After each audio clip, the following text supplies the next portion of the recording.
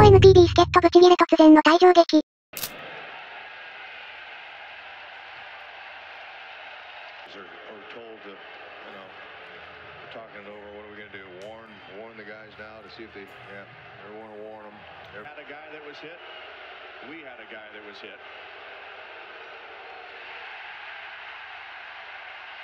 ダイヤモンドバックスの通り、ロブロ監督が口論の末、退場処分となった。元ヤクルト助っ人の退場劇にお願いだから何が起こったか説明してくれ。ロブロ監督は赤ん坊のようだ。通り、お前は座っていろ。厳しい声が。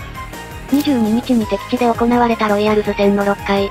1C 一塁の場面で、ロイヤルズのボビー・ウィットジュニア。内野手に死球を与えると、7回にはダイヤモンドバックスのガブリエル・モレノ捕手が死球を食らった。その死球を報復行為と判断した審判団は両チームに警告を宣告。ロブロ監督はジョン・ベイカー球審と言い合いに。さらにロイヤルズのマット・クアトラーロ監督はダイヤモンドバックスのベンチコーチと口論になった。これを見たファンは、解説してくれ。ロブロ監督はペレスも抗議に参加するよう手招きをしている。こっちは術使って。なぜ激高していたか理解ができない。ロブロ監督が理由なしに登場した。ロブロ監督はピエロだ。南 J マ Q チャンネルは現在動画編集者を募集しています。興味のある方は動画概要にあるメールアドレスにご連絡ください。